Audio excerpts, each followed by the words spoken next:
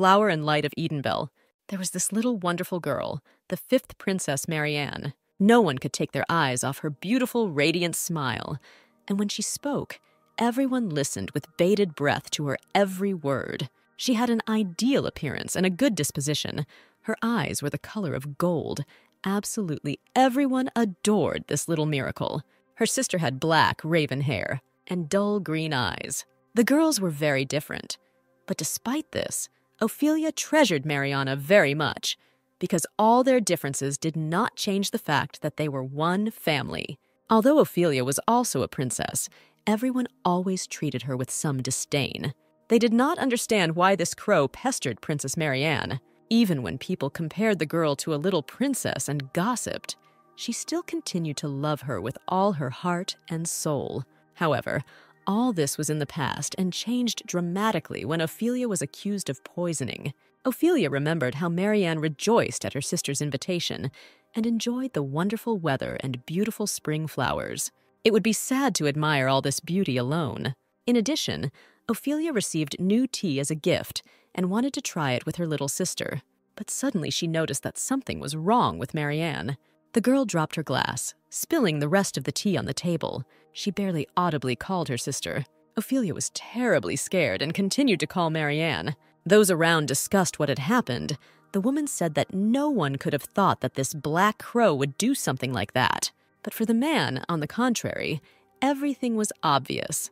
After one look at Ophelia, he could say that she hated the little princess and envied her. The atmosphere between these girls was always gloomy. The woman considered it a disgrace for the entire empire that, despite the fact that the girls were half sisters, envy overcame Ophelia. Opening her eyes, Ophelia looked around and returned to cruel reality. The girl was sitting in the basement, handcuffed. She did not understand how long she had slept and it seemed to her that time passed completely differently in this place. Ophelia realized that she was terribly hungry. She was locked in solitary confinement in a dungeon into which not a single ray of light could penetrate. When she saw the food lying on the floor, she was very happy. All the food she received consisted of a glass of water and a piece of bread. In pitch darkness and fierce loneliness, she had no choice but to drag out her meaningless existence on the cold floor of this cell, waiting. There was absolutely no news from the family, and the girl was worried that she would have to spend the rest of her life in this cell.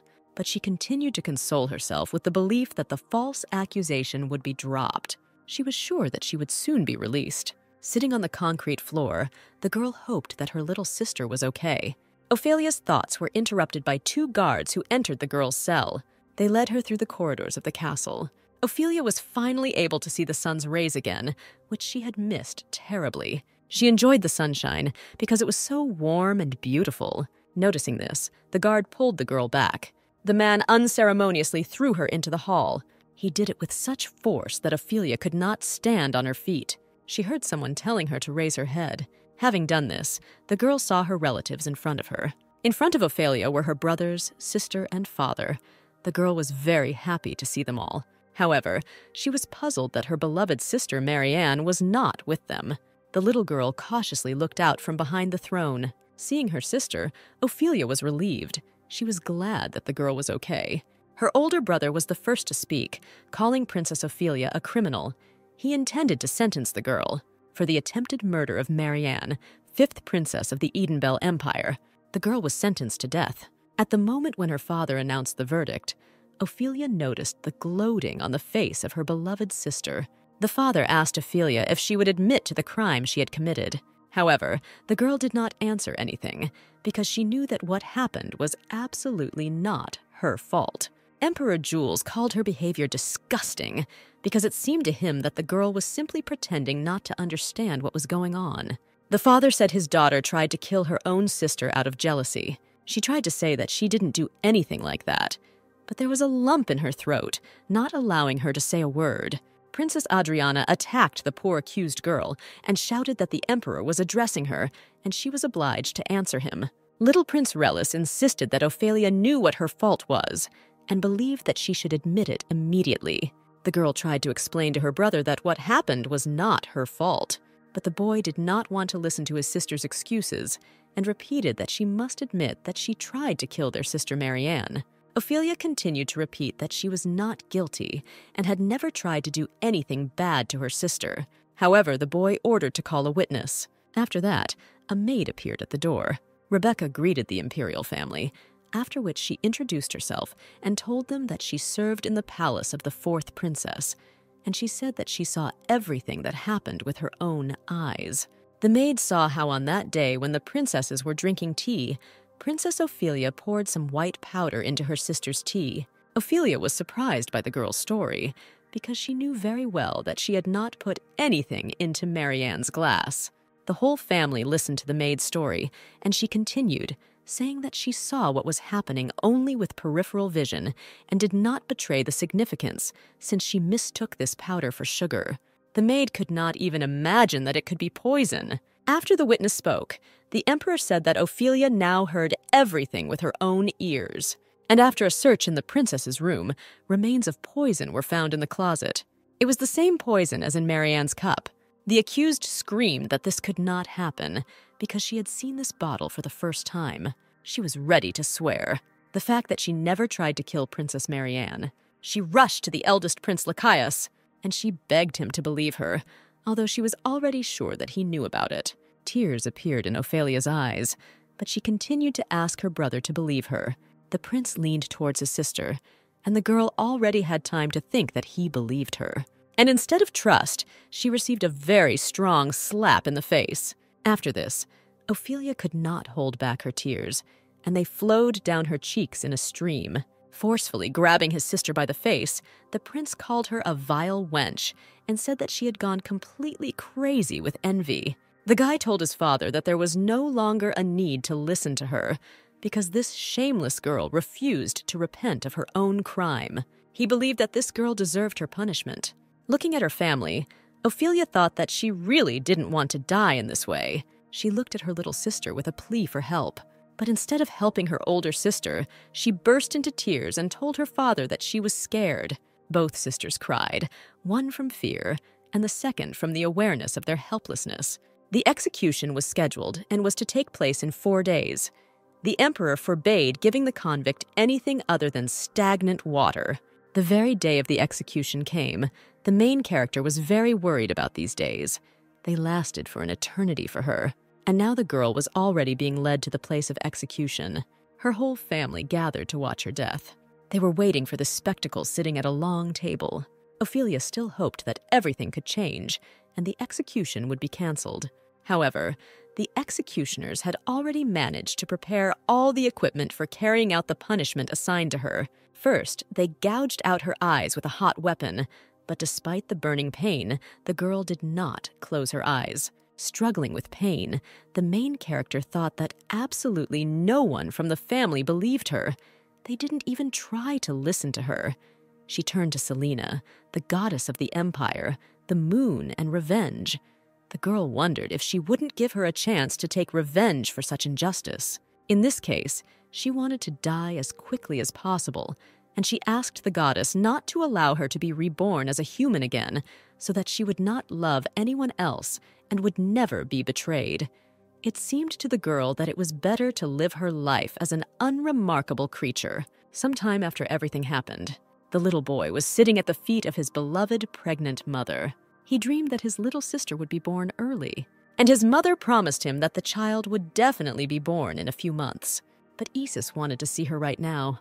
The boy stroked his mother's belly, and Ophelia felt all his touches as if he were stroking her. He wanted his little sister to be born as soon as possible, and he was sure that everyone around her would definitely love her. After her execution, Ophelia was reborn and was destined to be born again into the imperial family. Everyone in the palace praised the little girl for being kind and sweet, but that didn't stop them from talking about something wrong with the girl. And all because, unlike all other babies, she not only does not express her emotions, but also has not uttered a single sound the entire time, not to mention such simple words as mom and dad. In fact, if she wanted, she could speak right now, but for some reason she was afraid to do so. Seeing the light in front of her, she wondered if they had come to console her, and then thanked them for it. Only this young child could see this light. These were the spirits that had been with the girl since the very day she was reborn. Ophelia was reborn with the rare gift of seeing the spirits of light. Everyone calls people like her sorcerers. This ability allows you to see spirits as material objects. It was quite useless, given that the girl had no desire to live. But nevertheless, communication with them comforted the baby. The spirits were sure that she could talk. The girl agreed with them, saying that she could speak as soon as she wanted. However, remembering the last days of her previous life, the girl said that she was afraid. She was afraid that no one would believe her again, or that suddenly her loved ones would betray her again.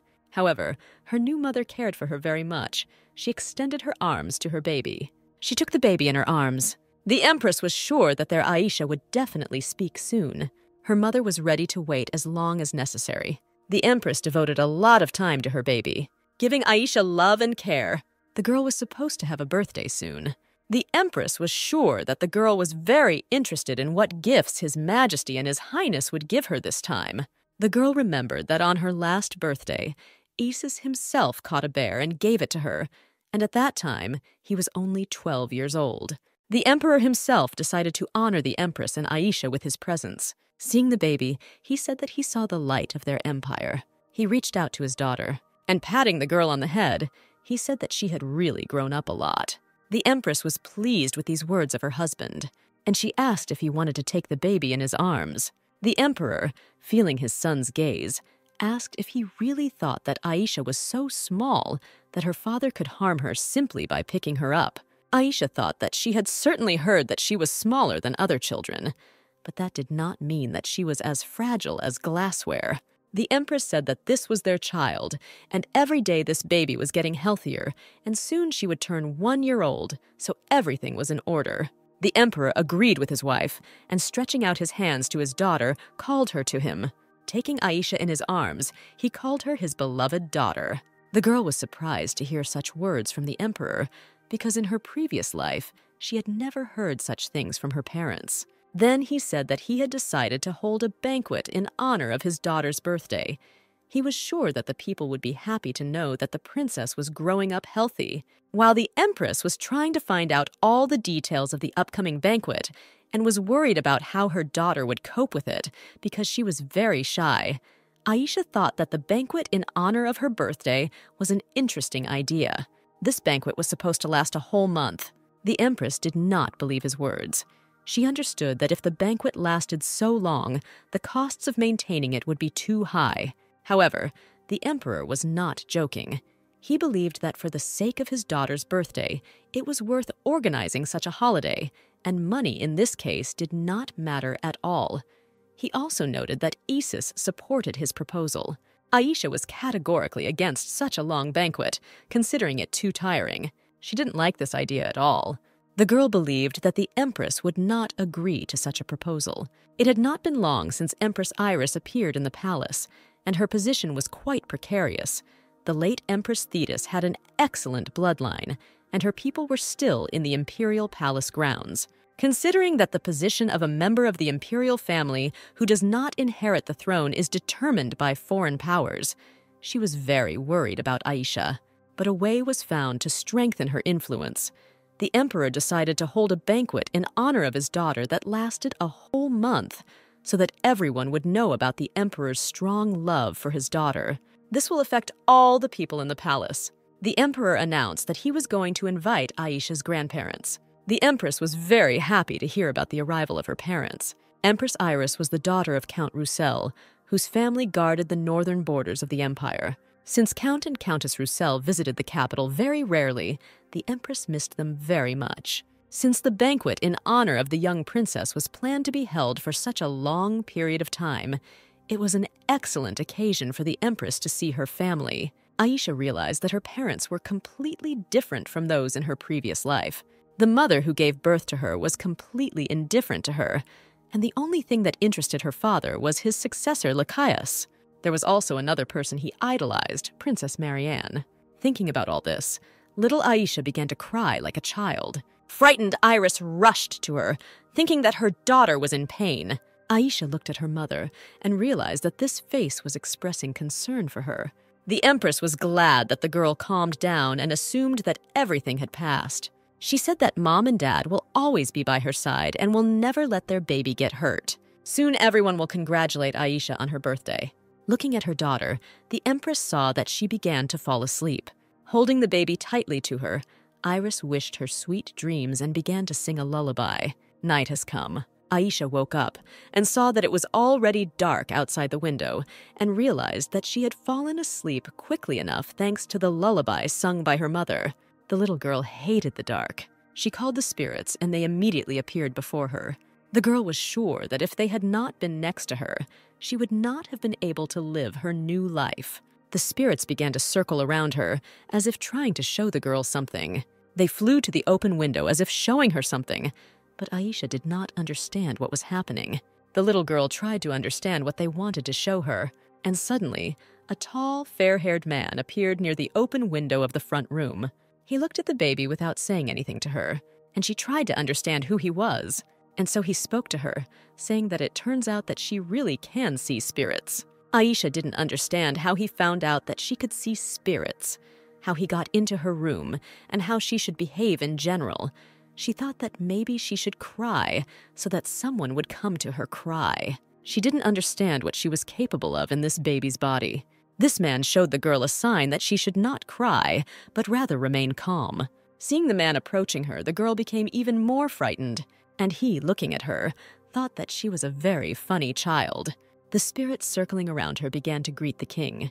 The girl could not believe that the man in front of her was a king. But then she realized that all this time this man was talking to her only mentally. Seeing that he had thrown the girl into confusion, the man thought that he had probably come to her too early. Touching her forehead with his finger, he told the girl to sleep and forget everything that happened in her room that night. Aisha tried to stop him. However, she realized that she very sharply wanted to sleep. And again, she fell into a deep baby sleep. Waking up in the morning, Aisha saw the nanny in front of her, wishing her good morning. The girl said that the baby slept very soundly all night and never woke up, after which she asked whether Her Highness slept well. Rubbing her sleepy eyes, the little girl tried to remember what happened to her yesterday. She thought she saw the full moon, but assumed it might have been because she was tired. After all, lately she has had a new challenge. The Empress slowly began to teach her to walk. Previously, she was not interested in any activities, but now she practices walking with particular persistence. The main character felt as if she was becoming freer with every step. For now, her limit was three steps. Aisha was born small and weak, just like the Empress, and therefore it is very difficult for her to walk, since her legs are still too weak. Those around her praised the baby for every step she managed to take. She supported the baby, saying that her mother was nearby, and she only had to try a little, and she would end up in her arms. Aisha saw the Empress, who continued to stretch out her hands to her, and memories from her past life surfaced in her head. She remembered her mother from their previous life, Empress Eden Bella. The girl tried to remember if she had ever hugged her, and looking back, she realized that if this happened, it was only a couple of times in all the time. She always told her little daughter that she should be very quiet. One day, sitting on the throne, she took her daughter in her arms and sat her on her lap. Now the girl understood that this was just a political representation of what a strong and friendly family they had. But despite the pretense, her mother's warm and gentle hands made her happy in those moments. Throwing away thoughts of the past, she realized that she had only managed to take three steps, and her legs were already shaking from fatigue. One of the maids even asked if their little princess was okay, but the girl was sure that despite her fatigue, this time she would be able to go further. She just had to try to move on. The maids and the Empress supported the baby, saying that she would definitely succeed and that she was almost there. Mom continued to call her, and the girl was sincerely happy that she was almost there. She still had quite a bit left, but she caught her foot on the carpet and fell on her butt. The concerned maids wondered if she had hurt herself and continued to support the girl, saying that she had almost managed to reach the end. The baby buried her face in the floor, which greatly frightened everyone around her. But she was just trying to get back on her feet. Standing up, Aisha heard the enthusiastic exclamations of those around her. The girl was sure that she would never back down and achieve her goal. She still had very little time left until her cherished goal, which was the hugs of her loving mother. She thought that if she managed to reach her mother, then perhaps she would be hugged with all her heart. The day came when the Empress's parents arrived. Iris missed them so much that she rushed headlong towards them. She was terribly glad to see her family, and they noticed how energetic their daughter was. Mother believed that the Empress still behaved like a child, but said that her daughter had become even more beautiful since their last meeting. Aisha watched her mother meet with her grandparents, and they asked where their granddaughter was. The nanny brought the princess out and said that she was also here. The Duchess asked permission to take the baby in her arms, and she, looking at the elderly people, thought that these were the Empress's parents, whom she saw for the first time in her life. The girl thought that everyone loved her because she was so lovely and charming, and it seemed awkward to her, but she agreed with all of them. Aisha had never seen her mother talk so much, and her grandfather said that she looked very much like the Empress as a child. Observing the behavior of the Empress and her parents, the main character realized that for loving parents, a child remains a child, regardless of his age. Iris was interested in how her parents were doing lately and how things were going in the North in general. Hearing about the North, Aisha thought that the Empress was talking about Edenbell, her homeland in a past life. However, the Count suggested going inside first. The Empress was worried, and over tea asked her father if something had happened in their homeland. But he reassured her, saying that he simply did not want to talk about Edenbell because of the extra ears.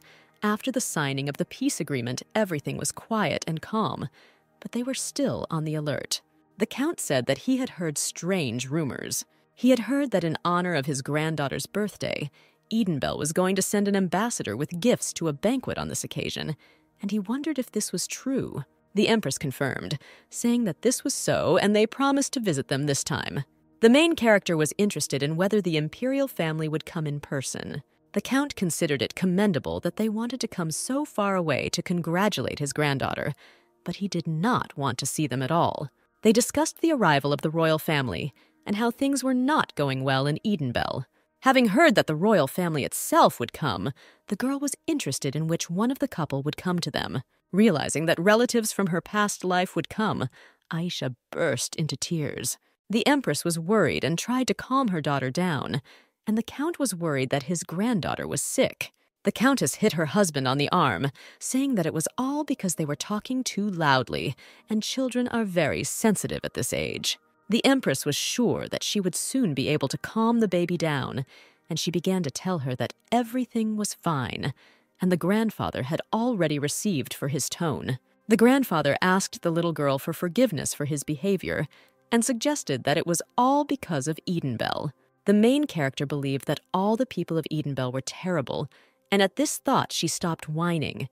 The Count assumed that in this way his granddaughter agreed with him, and she, just as he did not like Edenbell, the Empress agreed with his assumption. The main character thought about how she hated the entire royal family of Edenbell. The Empress suggested that her baby was in a bad mood. She hugged her daughter closer to her and asked what she could do to improve her mood. Iris suggested that perhaps she should give this little girl some sweets. And the main character thought that, remembering Edenbell, she felt very sad. In fact, she was a little ashamed. At that moment, the Emperor and Isis entered the room, and Mother asked why they had come. The Emperor said that he really wanted to see his beloved wife and daughter, and the boy wanted to see Mrs. Iris and his beloved sister. Iris invited them both to sit down first, and they looked at each other because their answers agreed despite the fact that they did not agree at all. Over a cup of tea, the Emperor said that he was glad that everything was fine with his beloved girls. And Iris replied that all this was thanks to His Majesty. Thanks also to Isis, she was very glad that he doted on his little sister. The boy said that it couldn't be otherwise, because he is her older brother and will always take care of her, because he made this promise. The Empress laughed and said that she willingly believed it. The little girl who was playing with him thought that he was really her brother. Her brother told her that he was preparing a gift for her, but it was a surprise, and therefore he could not talk about what exactly it would be. The main character did not believe that her brother could give her something, because in her previous life, nothing like this had happened to her, despite the fact that she had many brothers and sisters. But Isis was sure that this girl would definitely like this surprise. She couldn't do anything about it, and realized that she would just have to wait a little longer. Everyone was amazed that the princess's birthday banquet would take place for a whole month. This is all because Princess Aisha is very much loved. The girls also discussed the fact that Prince Isis also values his sister very much and even recently gave her the skin of a bear he killed. But most of all, they were interested in who she resembled more the emperor or the empress. One of the maids asked if the empress had finished her preparations, and when she saw Her Majesty, she said that she was extremely beautiful. The first day of the festive banquet has finally arrived. On this day, Aisha decided to appear in public for the first time and therefore was very worried. But her mother constantly squeezed her and assured her that she was simply incomparable. The girl touched her tiara and did not understand why it was so light. She assumed that she was enchanted. The Empress brought the baby to the window and invited her to look out.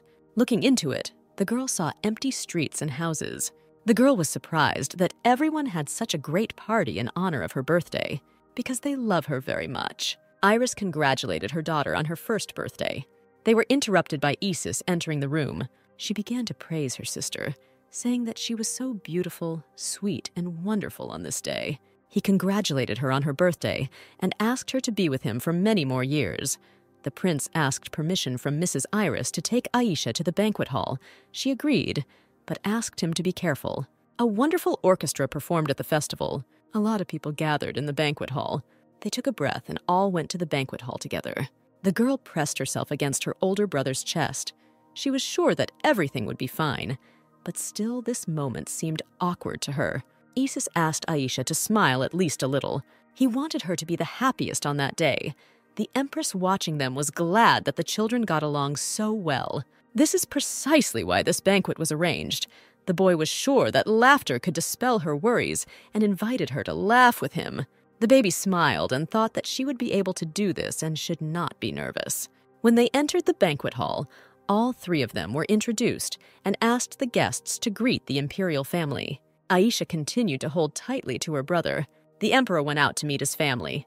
Approaching them, he said that everything was finally assembled. He thanked everyone for bringing the lights to his daughter's first birthday banquet. They arranged this banquet, which would last a whole month so that all the guests would have a blast. He also wanted to congratulate his daughter on her first birthday. All the guests shouted congratulations in unison. There was one strange man hiding in the crowd, as if he was hiding his face from the others. The rest of the guests were having fun and making small talk. One of the girls hoped that she would be able to take a closer look at the princess after the imperial family came down to the guests. The second guest couldn't wait either and then they noticed that the family had already headed towards the guests and began to look at the little princess. They compared this little girl to an angel. The guests simply fell in love with her and the way the crown prince himself carried his little sister. It seemed to them that there was nothing more beautiful than this angel. Aisha felt uncomfortable because there were too many people around. The emperor stretched out his hands to his daughter and wanted to take her from his son. The baby, sitting in her brother's arms, did not understand why he did not give her to her father. Isis said that Aisha was actually his sister, but after the emperor reminded him that she was also his daughter, the boy was forced to hand her over to his father. Aisha thought that just recently her father said that he would not hug her for fear of hurting his baby. The ceremony went well, and holy water from the Temple of Light was sprinkled on the little princess's head. It seemed to the girl that the divine power of light and her soul got along well with each other. Soon, aristocrats of all classes lined up in a long line to present their precious gifts to the little princess. They all admired little Aisha, thus, the turn had to reach each guest. However, there were too many representatives of the aristocracy from the capital, and the baby managed to get tired and want to sleep. And there were still dancers ahead, which she also needed to watch and then they introduced the ambassador from the Edenbell Empire. The girl was interested in who it would be and whether she knew this person. She saw blue eyes and assumed that it was Lacheas's older brother. The guy took off his hood, and the girl remembered that the blue robe was an element of clothing for the magicians of the Edenbell Empire. If the Elmere Empire was an empire of knights, then the Edenbell Empire was an empire of magicians. It was the eldest son of the Duke of Arson, who received the title of the youngest sage in the Tower of the Edenbell Magicians. He was also the only childhood friend of the main character. When she died, she was 14 years old and he was 17. Two years have passed since her death, so now he is already 19. Aisha sat on her father's lap, completely lost in her own thoughts and memories, and her parents sounded the alarm. They were worried whether everything was okay with their baby, and maybe she was tired. The girl did not react to her parents. She assumed that Arsen occupied an important place in the imperial palace, since he was the one who was supposed to present her with a gift. Aisha began to calm herself down, saying that she shouldn't cry and be upset and needed to calm down. The envoy asked permission to congratulate the princess on her first birthday and reported that in honor of this holiday, a magic stone had been created especially for her in their empire. This stone combined magical spells and the element of water so that its owner would be completely safe. However, for the main character, the most important thing was that this guy was okay. The next person wishing to congratulate the princess was Crown Prince Isis, who was also her brother. The little girl thought that he was going to give her the same promised surprise. He kissed the baby's little hand and congratulated her on her first birthday. The emperor interrupted him, saying that he had long understood what his son wanted to do and expressed his assumption on this matter. He thought that the boy wanted to take a knightly vow to Aisha. The prince did not deny this and said that this is exactly what he was going to do. The little girl definitely didn't expect such an action from her brother. He didn't understand what this knightly vow meant. In the Elmir Empire, there is an eternal oath, because this empire is an empire of knights. By taking this oath, the knight undertakes to protect one single master. Defend not only the beliefs and honor of the master, but also devote your whole life only to serving him. The main character could not understand why her brother decided to swear allegiance to her. She was confused, and Isis was afraid that something had happened to her sister and the little girl did not know when the hearts of her loved ones would change and she would be betrayed again. In this life, she looked for a catch everywhere, so she decided to cry. But the brother extended his hand to her and began to calm his beloved sister. He told her what he had already said more than once. No matter what happens, he will always be ready to come to her aid and protect her. She was his miracle, his desire, and simply his everything. He will try to become stronger in the future in order to be her support. He asked his sister to believe him. All this time, he continued to hold her tiny hand in his hands. Aisha was thinking about what a fool her older brother was. The emperor took the sword brought by Isis and said that they accepted his oath. He asked if the boy was ready to devote fame, destiny, and power to his sister. Isis swore that he would give her everything. All the guests present began to applaud such a generous gift from the heir to the throne. The crowd began to cheer, calling the names of the prince and princess alternately. The little princess thought that perhaps this would be the end of her failures. The tenderness of the emperor, the care of her mother, and the smile of Isis. The girl thought that thanks to all this, she might be able to be happy. The emperor and empress announced that their daughter should now go to bed for some rest. Isis wanted to take his sister to her room and asked permission to do so. He suggested that Aisha would be annoyed if she didn't see fireworks, because she had never seen them before, and the girl remembered that the nanny had told her that there should be a lot of fireworks on her birthday. The emperor agreed with his son and said that in fact the evening was not over yet, after which Iris suggested putting the baby to bed after the fireworks. Isis happily grabbed his sister and carried her to the balcony. He said that there would be no people there, but the view of the spectacle would be very good. Carrying his sister, he asked if this was her first time seeing fireworks. The brother began to describe to her what fireworks look like. He said that first there would be a boom on the ground, then in the sky, and then she would see many beautiful lights.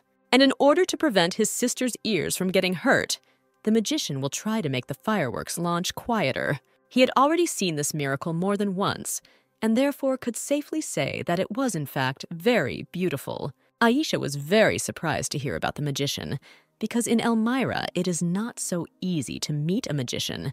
It was felt that the emperor paid a lot of attention to this evening. Isis pointed his finger at the sky and told his little sister to watch as everything had already begun. The children watched as beautiful fireworks exploded in the sky. They were both amazed by his beauty. He continued to show his sister the directions in which the fireworks were being launched, and they both enjoyed this beautiful sight. During the break between shots, the boy looked at his sister and told her that she was charming. At this moment, it seemed to the main character that she could begin to speak. Probably because now her voice will be drowned in noise, which means that Isis will not hear her words.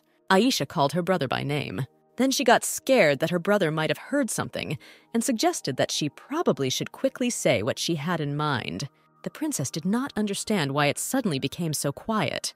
Isis turned to his sister and asked if she really just said his name. The boy could not believe it and repeated over and over again that the little girl called him by name. Aisha looked at her older brother smiling and thought that she only tried to say his name, but he was so happy that he could not hold back his tears. Isis was too busy trying to persuade his sister to try to repeat this at least once more and did not notice how frightened parents approached them. They did not understand at all what was happening to their children. The princess did not understand why her brother loved her so much, and meanwhile, he could not cope with the surging emotions and could not properly connect two words in order to explain to his parents what had happened. Then the empress told him to take a deep breath and try again. Aisha didn't understand why she opened her heart to these people so easily, but she knew one thing. Now she could speak. And the girl decided to call the Empress, calling her mother. Iris could hardly believe what she heard. She was incredibly glad that the baby had finally spoken. The Emperor rushed to his daughter and asked her to call him too. The main character smiled and quietly said, Dad. The satisfied Emperor took his baby in his arms and said that everything was so. He was her dad. Isis was so happy that his sister was the first to call his name that his tears of happiness never stopped. Aisha finally accepted that these people are her real family. Arson stood and watched everything that was happening on the balcony below. A man approached him from behind and asked what he was looking at so intently. This was a master of magic. He said that this family used to be in chaos, but now they are enjoying peaceful days. Arson was worried that something terrible might happen if someone heard the man. But the man was sure that nothing could happen to him because they were in the very heart of the empire, and besides, he said absolutely nothing like that.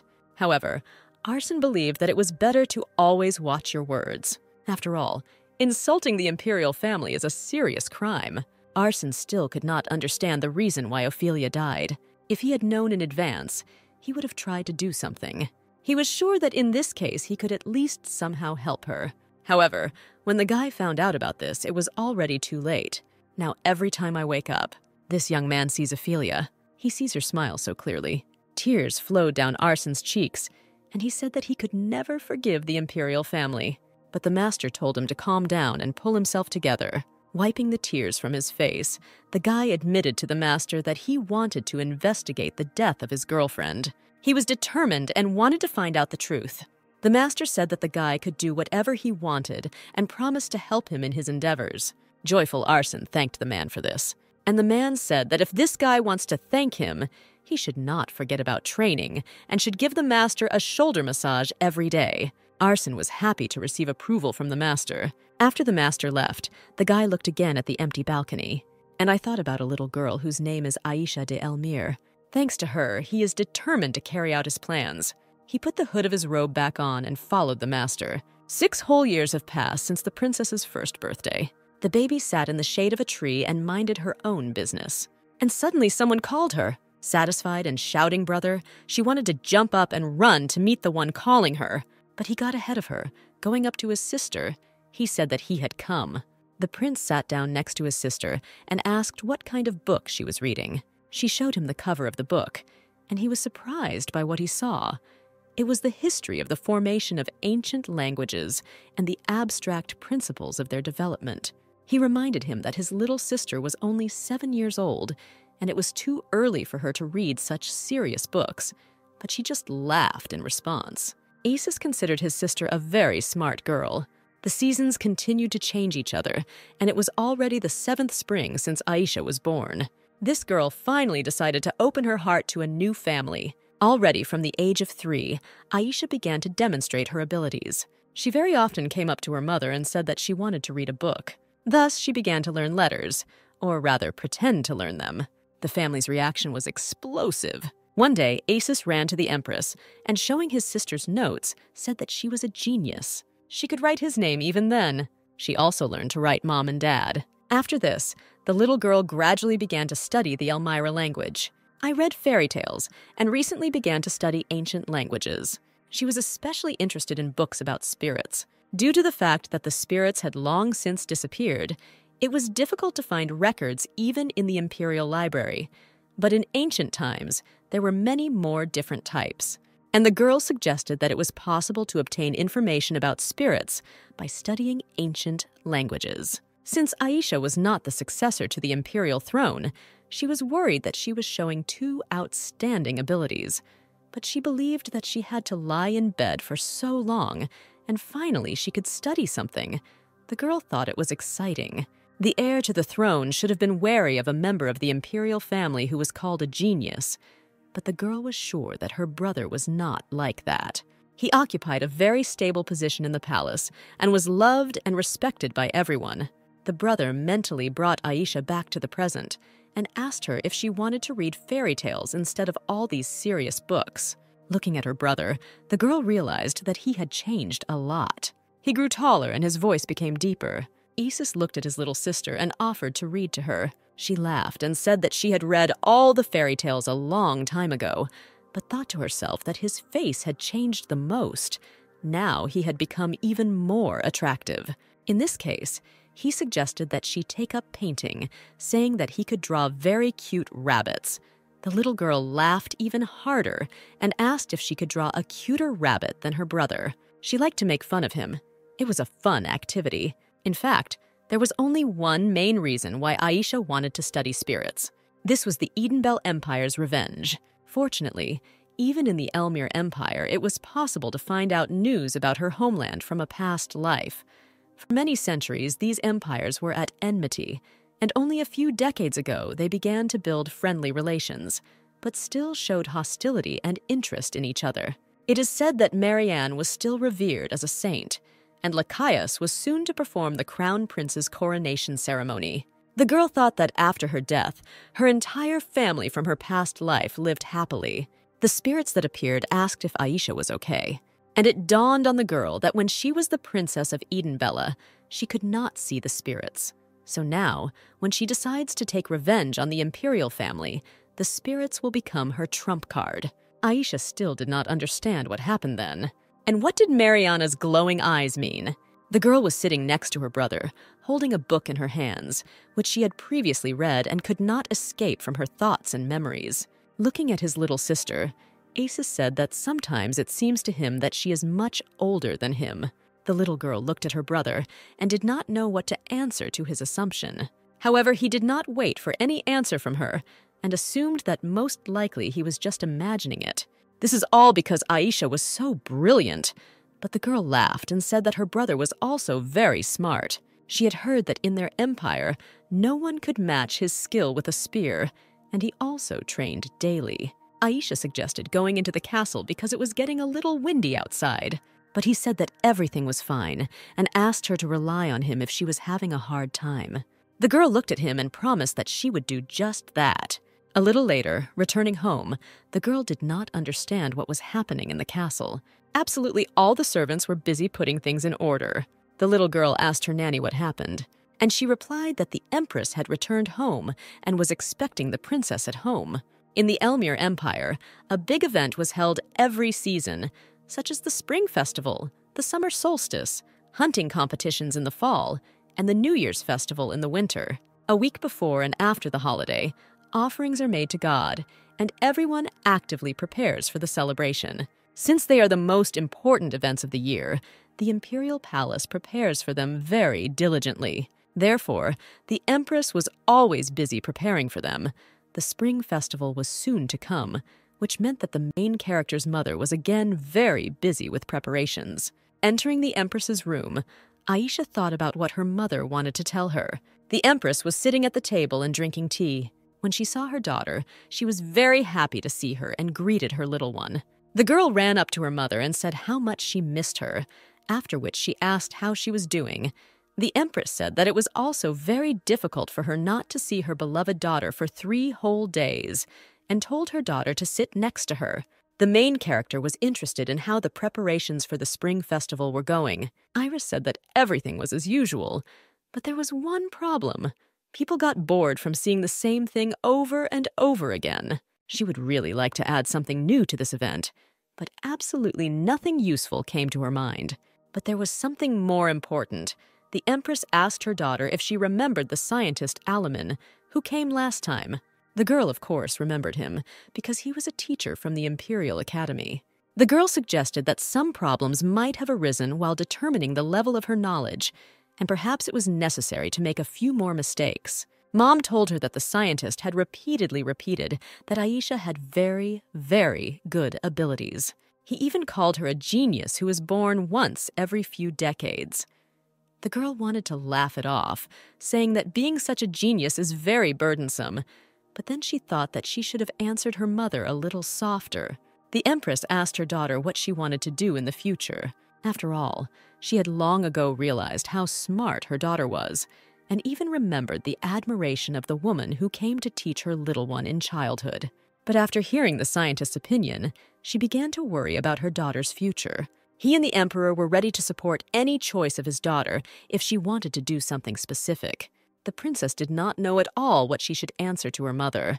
The Empress said that she was in a hurry by saying this now, and therefore her daughter should not rush to answer. Then she asked if her daughter would like to make friends with other children at the festival. She suggested that new acquaintances could help Aisha decide on her future occupation. Aisha asked her mother if she was sure that her father and brother would not mind, because they always told her that it was very dangerous outside the palace. The Empress promised to try to convince them of this. Aisha was very happy about her mother's offer because she always wanted to have friends. In the evening, sitting in her room, the main character recalled the past day. She remembered her mother's words that she and her father would support any of her choices, and her brother's words that she could always rely on him. However, she knew that if she wanted revenge, she would have to do it alone. She didn't want to burden her loving family, so she had no choice but to hone her magical skills. The main character decided that she needed to focus on what she could do right now. The little girl went to the library to choose the right book. However, she did not understand where she should start. She became upset and cried because she could not read the books she needed. After all, she had only recently mastered only the initial level of ancient languages, and all the necessary literature was in them. It was difficult, but she managed to learn basic vocabulary. And also thanks to an understanding of the principles of formation, it was possible to draw a conclusion about the meaning of letters by looking at their shape. The whole difficulty in choosing a book was that it was at a beginner level, and she knew only half of the letters. However, although this was the Imperial Library, where all the books of the Empire were collected, there were very few books about ancient languages, and they were all ancient. The girl was not sure that in this library there was at least one book suitable for her. However, quite by chance, her gaze fell on a book about the history of perfumes. She realized that if she studied this book, she would be able to learn much more about spirits. The spirits she usually saw were also happy with her find. The girl was sure that she needed to read this book as soon as possible, but the spirits began to call her. They showed her another book that was on the shelf, but she didn't understand why they showed it to her and asked if this book was about magic. And they continued to insist that the girl should read this book. Aisha didn't know whether this directly depended on her abilities, but until now she could only exchange a few words with the spirits, let alone conduct a constructive dialogue with them. But if they insisted so much, then there had to be some reason for it. She took the second book and decided that she should read both books she found. The girl was walking along the corridor when she heard someone call out to her. Turning around, she saw her brother. He asked her what she was doing there. Having hidden the books, the girl did not know what she should answer to Isis. Having looked closely, he nevertheless noticed one of the books, but she told him that this was a book for learning ancient languages. She thought it was a good idea to learn ancient languages, and so she decided to try it. The prince listened very carefully to his sister, after which he said that he had heard about the arrival of a scientist who said that Aisha was very smart. So the prince was very proud of his little sister. It seemed to him that Mistress Iris was seriously thinking about her future, but the girl did not need to worry about it. She had to do what she wanted, and her family would definitely support her. Then he said that he still had work to do, and therefore he had to leave. The girl was interested in what her brother was thinking about. She had the impression that he guessed that she had some kind of taiga, But Aisha tried to drive away these thoughts, saying that this could not happen. Everything that happened reminded her of some kind of fairy tale, communication with spirits, or its rebirth after death. She will never be able to tell her beloved brother about all this. Sitting down more comfortably, she took one of the books and began to read it. This book said that the spirits began to fight with each other and, as a result, suffered greatly because of the sorcerers. Aisha was very interested in reading the book. She found it all very interesting. It seems that the sorcerers disappeared due to participating in the battle between the spirits. She didn't have enough skills to read this book properly, but she still found it very interesting. However, she was unable to find anything about people who can see spirits from birth. Aisha could not understand who she was in this case.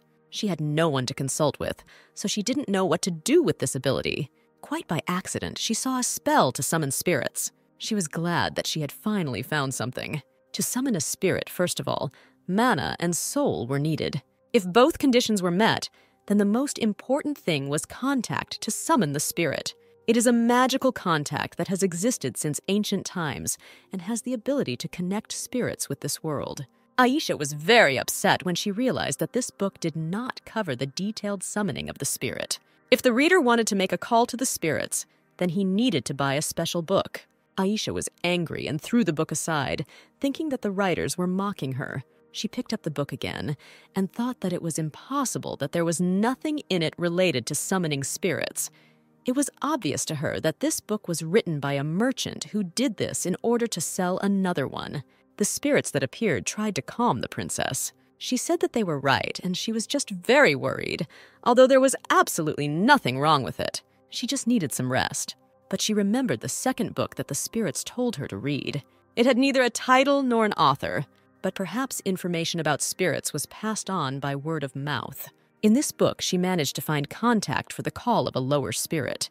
She was going to try a method of summoning that she had seen earlier in the history of spirits. First, it was necessary to prepare a contract for summoning the spirit. Further, if the summoner did not have enough magical powers, then he needed to use a mana stone. And if even in this case there was not enough strength, then it was necessary to combine forces with a high ranking sorcerer. And when the contact will be made, you need to put your hand on it and say the following Spirits who make up all things come and give strength. Aisha did everything exactly as stated in the book. She felt that something was happening. Tension began to arise around her, which gathered into a glowing lump. The main character couldn't believe her eyes. Before her was a real spirit. He introduced himself, saying his name was Hugh, and then said he had been summoned. This voice seemed familiar to Aisha. She remembered that it was the same voice with which spirits usually communicated with her. The spirit cordially asked if the main character had finished her contact with him. Satisfied, Aisha answered yes. Hugh flew up to the main character to kiss her on the forehead. Then another spirit appeared before Aisha. He greeted the girl, calling her mistress. This cheerful spirit was Rue. She was a lower class spirit of light. Aisha looked at the spirit and asked in surprise if Rue could really change her appearance. Rue said that after concluding a contract, spirits receive a shell more suitable for this world. Aisha finally saw what her dear friend, who had been with her since childhood, looked like. The girl couldn't believe that it was possible to summon a spirit so easily. And then Rue said that concluding a contract with a spirit is not so easy. However, there was a very close connection between Rue and Aisha, and that is why the girl was able to summon the spirit with such ease. Rue was very happy that the princess called her. Aisha couldn't believe that the voice that had previously sounded in her head could now ring in her ears, and they could talk as much as her heart desired. The princess was interested in why Rue didn't talk to her normally before, because she knew how to do it from the very beginning. It turns out that spirits that are not summoned are the same lower spirits, and in their natural state, they can say little. But after the mistress called on her spirit, their souls connected, and Rue acquired her current appearance. She decided to introduce herself again, saying that her name was Rue and that she was a lower spirit of light. Aisha also decided to introduce herself, but she was sure that the spirit already knew her name. Rue confirmed her suspicions, saying that she had been looking after her since childhood. Rue said that her owner was always sweet and kind, so she was always happy to be around her. And besides, Aisha was very popular. She began to talk about how the King of the Spirits of Light himself had previously visited her, but decided it was better to remain silent. Aisha asked if Rue really said that she was famous. She was also interested in who this king of the spirits of light was. Rue didn't know what she could say to her mistress, so she began to stammer. But then she still said that all this is due to the fact that Aisha is the only one in this world who can see spirits with whom she did not enter into a contract. The grinning spirit added that if anything, then she knows nothing about this. Aisha grabbed the spirit and began to shake it, asking if it was true.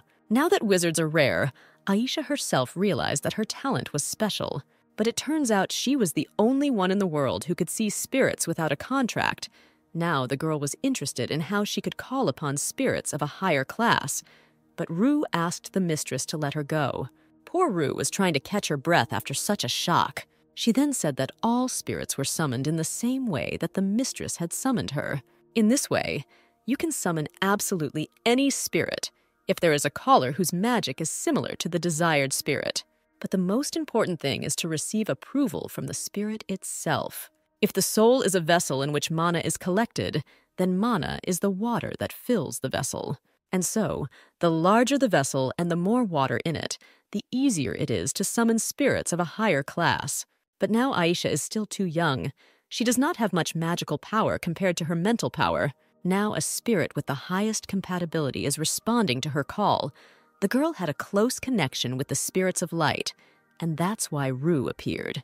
The spirit hoped that she had explained in sufficient detail that the hostess understood what she meant. Rue saw the cookies lying on the table and asked the girl for permission to eat them. Aisha, of course, allowed her to eat these cookies and offered to pour some tea. Now the main character was interested in how she could increase her magical power.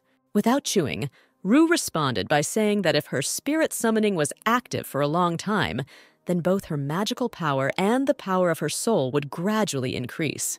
Rue also decided to tell what the spirits of light of different classes are called, and did not forget about the king of spirits named Ruminas, at which Aisha interrupted her story, asking if this was not the name of the god of light.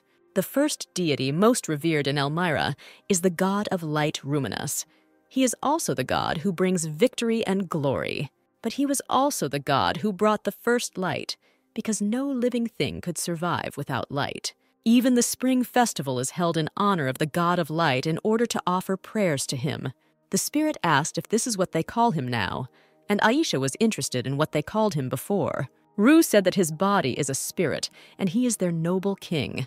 A long time ago, the world was still in chaos. The Creator created day and night, and spiritual kings were born in it. Over time, the names of the kings changed, and among them, Rumnus was once the ruler of the day and the enemy of the night, and now he is called the God of Light. This does not mean that all gods are spirits. They all look after this world because people are often confused. Aisha again invited her new friend to drink tea, and she agreed with great pleasure. She herself thought that Ruminus, whom she had always considered a god, was in fact a spirit, not a god. With her story, Rue gave Aisha an idea of how she could help her mother. The girl hurried to her mother to share her idea with her. She was sure that the Empress would also be delighted with her. And now, inspired, she was already standing in front of the door to her mother's room. Entering the room, she immediately suggested that her parents organize a holiday for the spirits at the spring festival. This day was very cloudy and rainy. Aisha watched what was happening on the street through the window and thought that the rain still did not stop. As always, Rue, who was devouring cookies, said that it seemed to her that the rain had not stopped since her appearance at the palace in her new guise. Aisha thought it was very cute how this little spirit was eating cookies. Ever since she learned about the Spirit King, the day Rue appeared, she had been making plans for the spring festival every day while in the palace. Fortunately, the Empress really liked the plan that her daughter came up with. The father also praised the little girl for her efforts and patted her on the head. So her plan, with the support of her parents, should have been carried out without any problems. Rue was also happy about the opening of the festival. First of all, it was for the spirits, and therefore the king of the spirits should also appreciate it. People needed to learn more about spirits. Aisha was interested in what the king of spirits was, and she asked her little spirit about it. And she said that he was very strong, handsome, and very cool. He is known as the most beautiful among the creatures generated by the Creator, In appearance, he looks like a human man, but he is incomparably handsome. His face was impossible to forget. He had golden hair and eyes of the same color, filled with light. Aisha asked about golden hair and eyes. She thought that this description seemed familiar to her. However, she decided to put these thoughts aside, thinking that she could not meet the Spirit King anywhere. Meanwhile, Rue grabbed the cupcake, saying that now it was his turn, and the girl was interested in whether she could call the King of Spirits himself. Rue was so surprised by this question that she even stopped eating. She said that there was not a single person in this world who could summon the Spirit King. The girl was upset and wondered if it was all because of magic. People cannot have such magical power to summon the Spirit King. As Rue said before, the soul is a vessel, and magic is the water contained in it, no matter how big the vessel is. If there is not enough water, then it is impossible to summon spirits. This was the rule of the spirit world. The girl was interested in whether, even if she added the power of the magic stone, she would still not have enough strength. But the spirit replied that the magic stone was secondary. It could compensate for the lack of magical power when calling spirits of the middle or high class, but he was not willing to do more capable. Aisha was upset because she realized that such a powerful spirit could not be summoned so easily. Nevertheless, she liked light magic, and that's why she felt such closeness. Thinking about the light, the girl remembered her brother Isis. She was interested in what he was doing at the moment. The nanny who entered the room asked whether her mistress was talking about Prince Isis. The girl asked her if the nanny knew where her brother was at the moment. She understood that he was busy now, but for the first time they had not seen each other for so long, and she missed him. The nanny said that lately the prince had been very keen on fencing, and while training in the rain, he caught a cold. Aisha was surprised. Hearing that my brother has a cold, she was interested in how serious her brother's illness was and the nanny realized that she had spilled the beans because it was a secret. Aisha ran up to the nanny and asked if she really couldn't even find out about her beloved brother's illness. But the nanny said that Prince Isis himself ordered her, because if the princess visited him and caught a cold, it would be very bad. The girl was outraged, because he always visited her, and he did not care at all that he himself might get sick.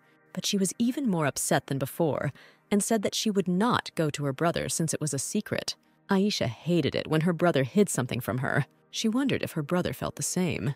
After all, he also wanted her to give him advice, and he could rely on her. Because no matter how difficult it was, she wanted to be strong. In this case, she decided to write him a letter. Aisha had never written letters to her brother before. She wanted to talk about her feelings. No matter how Isis thought about her, she also wanted to be strong for him so there was no need to worry too much. Meanwhile, Isis was lying on his bed in his bedroom. He was very ill and had a very sore throat. His temperature didn't drop at all. He finally realized that he had to stop swinging his sword in the rain. The guy sitting by his bed didn't understand why he was doing this at all. Isis replied that he did this in order to wield a sword at any time and in any weather. The guy asked if the prince was feeling very bad, and he answered, Isn't it noticeable from him? The servant asked not to make him worry, but Isis asked him to shut up. He was interested in why, of all the knights, it was he who came. This guy's name was Vian. He was a knight and the son of a high ranking nobleman. The guy decided to answer the prince's question and suggested that he was simply the only one who could tolerate him. Vian condemned the prince because not one sane person would train in the rain, and Isis had nothing to answer to this.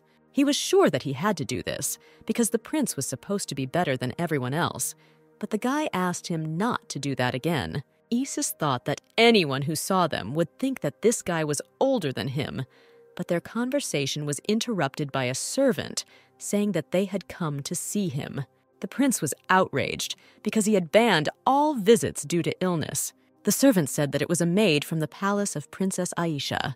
The guy said he could ask her to come back another time but the prince ordered to let her in. The maid who entered greeted the prince and introduced herself, saying that her name was Lena and she was a maid in the palace of Princess Aisha. Nothing special happened, but the princess ordered this letter to be handed over to Crown Prince Isis. Isis was surprised that his sister decided to write to him. Just in case, he asked again whether his sister herself had written the letter and had done it just for him. Lena replied that that was exactly how it happened. He was glad that his sister herself wrote this little letter for him. It said Brother Isis. Starting to read the letter, the prince burst into tears, and Vian asked him not to strain, because the temperature could rise. Isis said that the room was too noisy and asked Vian to turn away and allowed Lena to go back. In the letter, his baby was interested in his well being. She decided to write this letter when she found out that her brother was sick. She knew that he always worked hard and asked him not to overdo it. She wrote that she was very upset when she heard about his illness from someone else. After reading about it, he mentally apologized to her because he just didn't want her to. I was worried about him. She wrote about how dear he was to her and how glad she was to be his little sister. He was always by her side, and therefore she could not even think that she would be so lonely without him. She wanted to quickly see her dear brother at the spring festival. In the meantime, she was going to pray for his health. Isis thought that, being in a stronger position than anyone else, he should do his best to rule the aristocracy wisely. He had to become as strong as Aisha is smart and amazing. He had to become even more powerful. This is the only way he can protect her. The prince knew that Aisha was hiding something from him, a secret that she could not tell. He was sad when he saw her hiding a book from the library, but she had to have a good reason why she couldn't tell him everything. The best he could do was trust her and support her. Therefore, he was ready to grind into dust everyone who made his sister suffer, and Vian asked him to calm down because he could get sick again from overwork. Isis asked the butler to bring him paper and pen. The knight was surprised that the prince asked for paper and pen, and Isis asked if he should not answer if he received the letter. He sat down and began to write a response to his beloved sister.